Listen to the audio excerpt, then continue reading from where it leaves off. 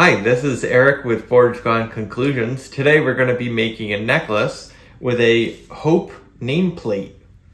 So this is our stock we're going to be using. So we're going to cut Hope out and today we're going to be using the milling part of our engraver. We have our piece of silver here.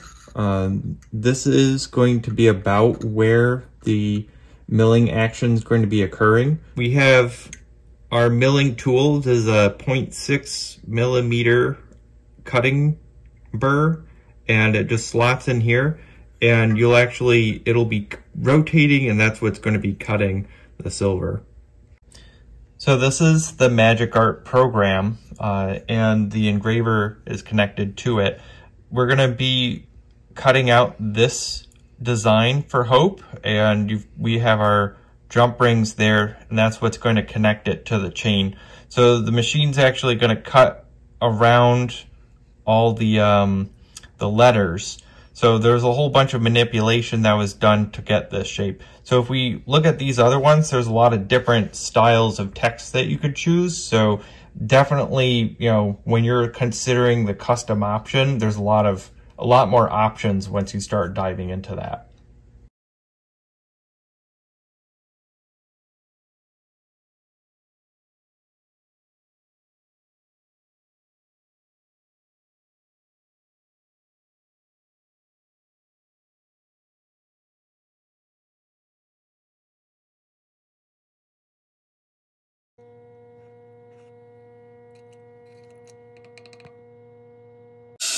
So we have our hope cut out. We're going to be putting it into a magnetic tumbler just for a little while. This is going to clean up some of the edging and then we'll start doing more work to it.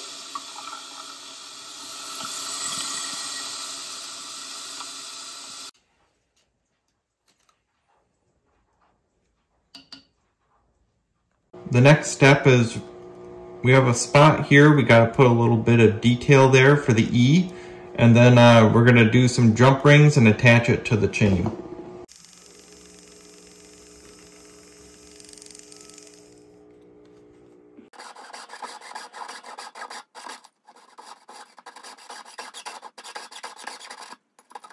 Now we're going to start sanding the top and then we're going to move into polishing it.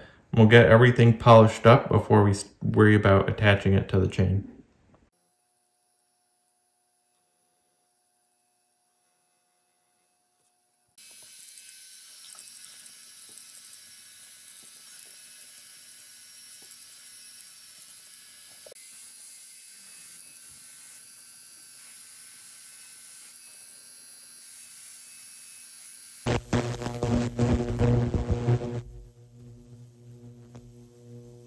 We're going to be putting the maker's mark and then we're going to be putting 925, which is sterling silver, written on to the section of the back of the piece.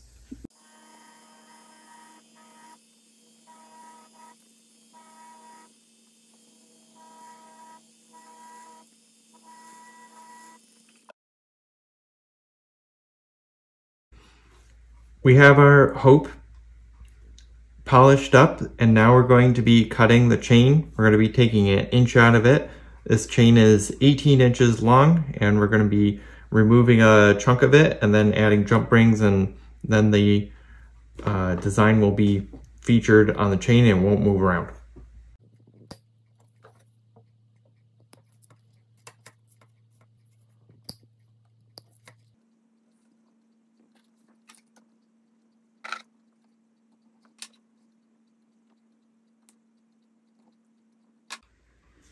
We've put our jump rings on the Hope pendant and now we're going to be soldering everything up.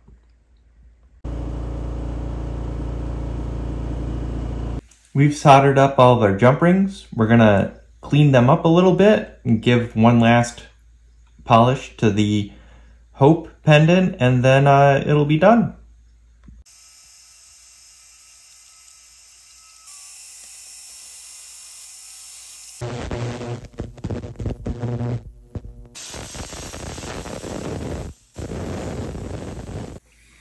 Our hope necklace is completed. So we've got our jump rings on there and we have the pendant Hope captured in the middle.